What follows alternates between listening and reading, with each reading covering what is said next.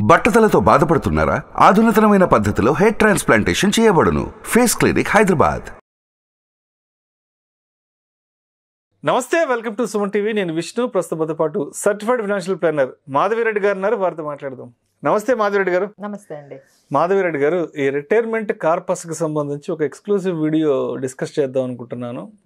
ఒక thirty years ఏజ్లో ఉన్న ఒక పర్సన్ ఓకే. తనకి సిక్స్టీ ఇయర్స్ ఏజ్ వచ్చేటప్పటికే ఒక పెద్ద కార్పస్ని రెడీ చేసి పెట్టుకోవాలి అంటే మరి ఇప్పటి నుంచే తను ఫైనాన్షియల్ ప్లానింగ్ అనేది ఏ విధంగా చేయాలి అంటారు అసలు? సో ఇది చాలా మందికి వచ్చే డౌట్ అండి. చాలా రెగ్యులర్గా మాకు వచ్చే ప్రతి క్లయింట్ అడిగే క్వశ్చన్ ఇది. మేడం మీరు నాకు చెప్పండి. నేను రిటైర్మెంట్ అయ్యేటప్పటికి నా. దగ్గర ఎంత కార్పస్ నేను ఎంత సంపాదించాలో చెప్పండి. నేను ప్రశాంతంగా.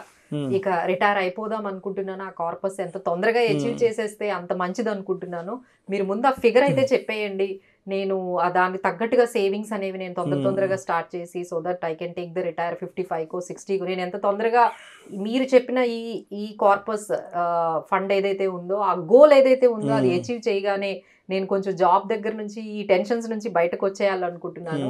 అండ్ ప్రశాంతంగా ఉండొచ్చు అట్లీస్ట్ ఈ అమౌంట్ అనేది మన దగ్గర ఉంది అనగానే సో ఫస్ట్ ఏంటంటే ఈ క్యాలిక్యులేషన్స్ చేసుకోవడానికి మనకి త్రీ స్టేజెస్ ఉంటాయి. ఫస్ట్ స్టేజ్ ఏంటంటే మీరు ఇప్పుడు థర్టీ ఇయర్స్ ఉండేటప్పుడు మీ Hmm. లైఫ్ స్టైల్ ఎక్స్పెన్సెస్ ఎంత ఉన్నాయి మ్మ్. ఇప్పుడు మన ఎగ్జాంపుల్లో సిక్స్ లాక్స్ అనుకుందాం అంటే Hmm. ఏంటి నెలకి యాభై వేలు. నెలకి యాభై వేలు అంటే. మీకు సంవత్సరానికి ఆరు లక్షలు. ఆరు లక్షలు ఇప్పుడు మీరు థర్టీ Hmm. ఇయర్స్ ఉండేటప్పుడు ఇదే ఫిగర్ ఇన్ఫ్లేషన్తో. మీరు సిక్స్టీ ఇయర్స్కి అయ్యేటప్పటికి థర్టీ ఫైవ్ లాక్స్ అవుతుంది ఓ my god thirty to thirty five lakhs అంటే ఎంగేజ్లో ఉన్నప్పుడు ఆరు లక్షలు ఖర్చు పెడితే అరవై ఏళ్ళ వయసు వచ్చేటప్పటికి అది ఇన్ఫ్లేషన్తో పెరిగి ఇన్ఫ్లేషన్తో పెరిగి ఆ. ఇన్ఫ్లేషన్తో పెరిగి అది సంవత్సరానికి అప్పటికి మీకు ముప్పై నుంచి ముప్పై ఐదు లక్షలు మీకు ఖర్చు అవుతుంది సో Hmm. ఇది ఫస్ట్ మనం మనం ఒక అంచనాకు వస్తాం ఓకే అప్పటికి ఇన్ఫ్లేషన్కి ఎంత అవసరం అవుతుంది సంవత్సరానికని ఇప్పుడు సిక్స్టీ ఇయర్స్ నుంచి ట్వంటీ ఫైవ్ ఇయర్స్ అంటే Hmm. ఏంటి మీరు ఎయిటీ ఫైవ్ ఇయర్స్ వరకు ఉంటారు మ్మ్. అంటే మన life span eighty five years అనుకుంటే. మీరు సిక్స్టీ ఇయర్స్ నుంచి ఎయిటీ ఫైవ్ ఇయర్స్ అంటే ట్వంటీ ఫైవ్ ఇయర్స్. అంటే ఈ twenty five years every year ఎంత కావాలి ముప్పై Hmm. ఐదు లక్షలు కావాలి. అవునవును. ముప్పై ఐదు లక్షలు ఎవ్రీ ఇయర్ కావాలి అలా ఎన్ని ఇయర్స్ కావాలి.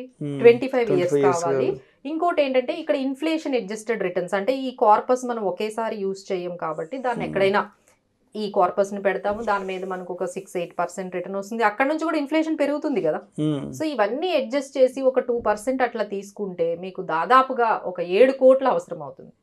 మై గాడ్ అది ఇప్పుడు యాభై వేలు ఖర్చు పెడుతున్న మీకు ఇదే లైఫ్ స్టైల్ కంటిన్యూ అవ్వాలి అంటే మీరు సిక్స్టీ ఇయర్స్ వచ్చేటప్పటికి ఒక ఆరేడు కోట్లు మినిమం మీ దగ్గర అయితే కార్పస్ అనేది క్రియేట్ చేయాలి. అది ఏం పెద్ద కష్టం కాదండి. మీరు థర్డ్ ఇప్పుడు సెకండ్ థర్డ్ పాయింట్. ఫస్ట్ పాయింట్లో థర్టీ ఫైవ్ ల్యాక్స్ అవసరం అవుతుందని. తెలుసుకున్నాము. సెకండ్ పాయింట్లో ఈ thirty five lakhs twenty five years మనకి కావాలి. అంటే ఏడు కోట్లు అవసరం అవుతుందని తెలుసుకున్నాము. ఇప్పుడు థర్డ్ పాయింట్ ఏంటంటే ఈ సెవెన్ క్రోర్స్ సంపాదించాలి అంటే ఎవ్రీ మంత్ ఎంత సేవ్ చేయాలి.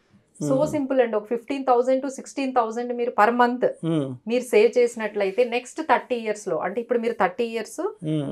మీరు సిక్స్టీ ఇయర్స్ అయ్యేటప్పటికి మీకు ఉన్న టైం ఎంత thirty Hmm. Years time so ఈ థర్టీ ఇయర్స్ మీరు కంటిన్యూస్గా ఒక ఫిఫ్టీన్ టు సిక్స్టీన్ థౌసండ్ మ్మ్. అమౌంట్ కానీ మీరు మంత్లీ సేవ్ చేసినట్లయితే ఈజీగా మ్మ్. మీరు ఈ ఏదైతే కార్పస్ ఉందో దాన్ని అచీవ్ చేయొచ్చండి ఇంకా సింపుల్ టర్మ్లో అంటే ఇంత కష్టం లేకుండా మీరు చెప్పాలి అంటే ఇప్పుడు థర్ట్ ఏదన్నా ఫిగర్ రానియండి ఇప్పుడు Hmm. థర్టీ ఫైవ్ ల్యాక్స్ అవ్వనియండి కొంతమంది ట్వంటీ ల్యాక్స్ చాలు మేడం మాకు అనుకుంటే. మల్టిప్లైడ్ విత్ ట్వంటీ ఫైవ్ వేయండి మ్మ్. ఏ ఫిగర్ వచ్చినా మ్మ్. అంటే మీరు రిటైర్మెంట్ అయ్యేటప్పటికి నాకు ట్వంటీ ల్యాక్స్ ఉంటే సరిపోతుంది థర్టీ. ల్యాక్స్ ఉంది అనుకున్నారు అనుకోండి థర్టీ ఇంటూ ట్వంటీ ఫైవ్ ఎంత అంటే.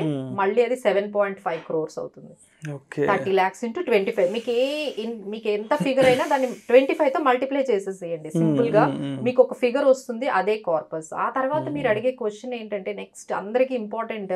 అందులో మనం ఎవ్రీ మంత్ ఎంత తీసుకోవాలి. సో ఈ సెవెన్ పాయింట్ ఫోర్ క్రోర్లో దీన్ని రిటైర్మెంట్ రూల్ ఫోర్ పర్సెంట్ అంటామండి. Rule four percent? Rule four percent అంటే ఈ seventy seven point five crores మీద ఫోర్ పర్సెంట్ మీరు కానీ ఎవ్రీ ఇయర్ దాని మీద వచ్చిన ఇన్కమ్ని కానీ. మీకు తీసుకున్నట్లయితే అది మీకు ఖచ్చితంగా ఆ ట్వంటీ ఫైవ్ ఇయర్స్కి మీకు సరిపోతుందండి. సో. టూ పాయింట్ అంటే ఫోర్ పర్సెంట్ అంటే మళ్ళీ అదే సెవెన్. పాయింట్ ఫైవ్ మీద ఫోర్ పర్సెంట్ అంటే మళ్ళీ అదే థర్టీ ల్యాక్స్ వరకు మీకు వస్తుంది. సో ఇంత ఈజీగా ఉంటుందండి. So need not to worry problem ఏంటంటే మనం ఎర్లీగా స్టార్ట్ చేయం. అంటే థర్టీ ఇయర్స్ ఏజ్లో ఉన్నప్పుడు రిటైర్మెంట్ గురించి మాట్లాడితే. ఒప్పుకోరు కదా. అరే ఇంకా ఇంకా ముప్పై ఏళ్ళు ఉంది. అప్పుడు. ఆలోచిద్దాము. అయినా ఇప్పుడు ముప్పై ఏళ్ళ వయసులో అవసరం అది.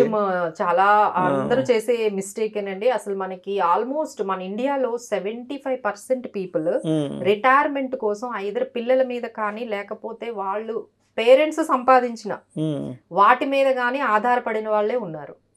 Almost fifty to sixty percent people అంటే ఎవరికి రిటైర్మెంట్ ప్లానింగ్ అనేది వాళ్ళ ఓన్ అనేది. చేసుకోవటం లేదు. సో బట్ నా ఇప్పుడు రెండు థింగ్స్ చేంజెస్ జరిగాయండి. ఒకటి. పిల్లల మీద ఆధారపడే పరిస్థితి లేదు. డిపెండ్ అయ్యేటట్టుగా మన సోషల్ సిచ్యువేషన్ అయితే లేదు. ఇంకొకటి ఏంటంటే మన పెద్దవాళ్ళు ఇచ్చిన ఆస్తులు కూడా అంత ఎక్కువగా మనకి కనిపించలేదు. కాబట్టి డెఫినెట్లీ మన రిటైర్మెంట్ ప్లానింగ్ మనం చేసుకుంటే మంచిదండి. మీ పిల్లల మీద కానీ మీ పెద్దవాళ్ళు ఇచ్చే దాని మీద ఆధారపడకుండా సో ఇట్స్ సో ఈజీ ఇప్పుడు మనం చెప్పిన దాని ప్రకారం మీరు ఒక పదిహేను వేలు నుంచి ఇరవై వేలు మీరు పర్ మంత్ నా రిటైర్మెంట్ ప్లానింగ్కి నా ఫైనాన్షియల్ ఫ్రీడమ్ అని మీరు కానీ సేవ్ చేసుకున్నట్లయితే చాలా ఈజీ అండి. బట్ ఓన్లీ థింగ్ ఏంటంటే డిసిప్లైన్డ్గా. కన్సిస్టెంట్గా ఎవ్రీ మంత్ సేవ్ చేయాలి. అండ్ ఇంకొకటి ఏంటంటే ఎర్లీగా స్టార్ట్ చేయాలి. అవును మీరు ఫార్టీ ఇయర్స్ స్టార్ట్ చేశారనుకోండి థర్టీ థౌసండ్ అయినా సరిపోదు. మీరు ఫిఫ్టీ ఇయర్స్ అయితే అసలు one lakh per month invest చేసినా సరిపోదు. సో. ఇదంతా మీరు డిలే చేయటం వల్ల వచ్చే ప్రాబ్లమ్స్ అండి. సో మీరు కానీ టైంకి కానీ ఎర్లీగా కానీ స్టార్ట్ చేసినట్లయితే definitely you can achieve this target అండి. So start as early as possible twenty five thirty years మీ ఇన్కమ్ స్టార్ట్ అవ్వగానే మీరు స్టార్ట్ చేయొచ్చండి. నెక్స్ట్ వన్ నెక్స్ట్ క్వశ్చన్ ఏంటంటే ఉమ్. ఈ డబ్బుల్ని ఎక్కడ పెట్టాలి? ఎలా Hmm. ఎక్కడ ఇన్వెస్ట్ చేయాలి? ఎక్కడ పార్క్ చేసి పెట్టాలి? ఎక్కడ పార్క్ చేసి పెట్టాలంటే దానికి ఒక రూల్ ఉందండి. Sixty thirty is to ten అని. సిక్స్టీ థర్టీ టెన్ అంటే సిక్స్టీ పర్సెంట్ మనం ఈక్విటీలో పెట్టుకోవచ్చు. థర్టీ పర్సెంట్ వరకు డెట్లో పెట్టొచ్చు. అండ్ టెన్ పర్సెంట్ గోల్డ్లో పెట్టొచ్చు. సో ఇలా మనం కొంచెం ఈ రూల్స్ని అంటే Hmm. ఒకేసారి అంటే మన చాలా మంది ఏంటంటే ఒక దాంట్లోనే ఎక్కువ పెడుతూ ఉంటారు. అంటే కొంతమందికి ఈక్విటీ ఇష్టం అయితే కంప్లీట్గా ఈక్విటీలో పెట్టడము. స్మాల్ క్యాప్స్ లార్జ్ క్యాప్స్ వీటిలోనే పెట్టడం బట్ డెట్ అనే పార్ట్ని మర్చిపోతారు.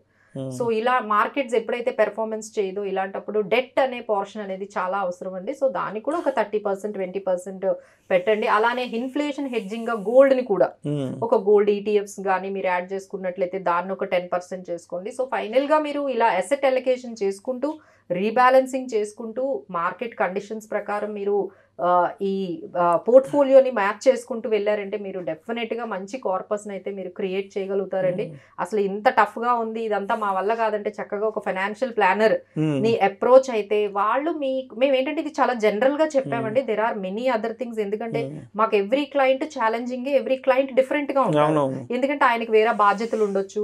ఆయన హెల్త్ కండిషన్స్ డిఫరెంట్గా ఉండొచ్చు ఆయన Hmm. లైఫ్ స్టైల్ డిఫరెంట్గా ఉండొచ్చు ఆయన గోల్స్ డిఫరెంట్గా ఉండొచ్చు ఉమ్, సో మీరు కంపల్సరీ మేము చెప్పింది ఓన్లీ జనరల్ ఎగ్జాంపుల్ ఎలా క్యాలిక్యులేట్ చేసామో చెప్తున్నామండి బట్ మీరు మీ ఫైనాన్షియల్ ప్లానర్ దగ్గర మీ పర్టికులర్ ఈ విషయాలన్నీ మీరు వాళ్ళతో షేర్ చేసి మీకు ఇంకా ఎలాంటి చేంజెస్ కావాలో చేసి అప్పుడు ఫైనల్గా ఒక స్ట్రాటజిక్గా ఒక మంచి ప్లాన్ని క్రియేట్ చేసుకొని. స్టార్ట్ చేస్తే you can have a very good retirement life అండి thank you so much Madhureddy గారు సుమన్ టీవీలో మీ పర్సనల్ అండ్ బిజినెస్ ప్రమోషన్స్ కోసం కింది నెంబర్కి కాంటాక్ట్ చేయండి.